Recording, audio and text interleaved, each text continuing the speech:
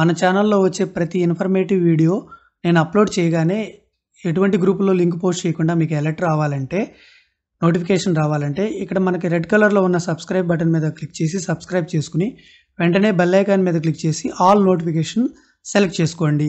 Thank you all good morning everybody welcome back to our channel ఈరోజు AP treasury వెబ్సైట్లో DD DDO రిక్వెస్ట్లో new DA as per GO number fifty one dated thirty one seven twenty twenty one ప్రకారం new DA raise చేయబడింది.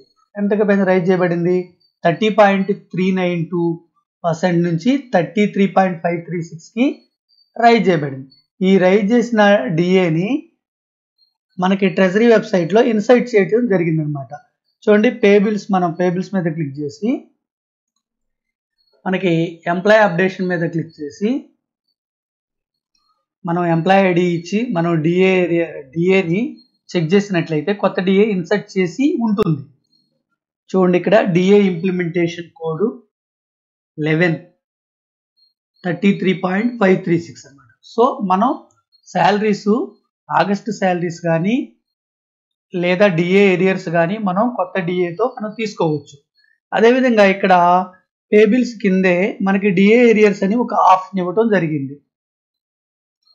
ఈ DA arrears ఆప్షన్స్లో మనకి GO ninety four first instalment second instalment third instalment అని ఇవ్వడం జరిగింది. అయితే ఇది జియో నెంబర్ నైంటీ ఫోర్ కాదు. నైంటీ ఫోర్ అనేది గత DA thirty point three nine two ఇక్కడ జిఓఎంఎస్ నెంబర్ ఫిఫ్టీ వన్ అని ఇవ్వాల్సి ఉంటుందన్నమాట.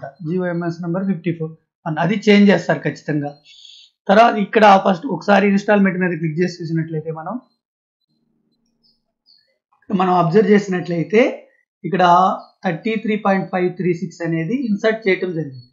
అయితే డేట్స్ మాత్రం జిఓఎంఎస్ నెంబర్ నైంటీ ఫోర్ ప్రకారమే ఉన్నాయి. ఫ్రమ్ టూ డేట్స్ ఇవి చేంజ్ చేయాలన్నమాట. GOS GOMS number fifty one ప్రకారం zero one by two thousand nineteen నుంచి ఒక ten months first ten months ఇవ్వాల్సి ఉంటుందన్నమాట. ఇది ఖచ్చితంగా చేంజ్ చేస్తారు. ఇప్పుడు మనం ఆగస్టు శాలరీస్ ప్రిపేర్ చేసే లోపు డిఏ ఏరియాస్ ఇక్కడ ఇన్స్టాల్మెంట్స్ లింక్స్ అప్డేట్ అయితే మనం DA arrear instalment first instalment prepare చేసుకోవచ్చు. చేసుకున్న తర్వాత ఆటోమేటిక్గా మనకి డిఏ అప్డేట్ అవుతుంది.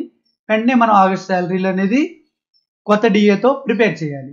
ఇక్కడ ఏరియర్స్ అనేది ఇక్కడ ఇన్స్టాల్మెంట్ అనేది అప్డేట్ కాకపోతే దీనికి ముందు చూపించినట్టు ఎంప్లాయ్ అప్డేషన్లో ఎంప్లాయ్ అప్డేషన్ ద్వారా మనం డిఏ ఇంప్లిమెంటేషన్ కోడ్ అనేది లెవెన్ అనేది లెవెన్గా అప్డేట్ చేసి మనం ఆగస్ట్ మంత్కి కొత్త డిఏతో శాలరీస్ ప్రిపేర్ చేసుకోవచ్చు. ఇంకేమన్నా ఈ మోడిఫికేషన్స్ వచ్చినట్లయితే మన ఛానల్ ద్వారా అప్డేట్ ఇవ్వడం జరుగుతుంది.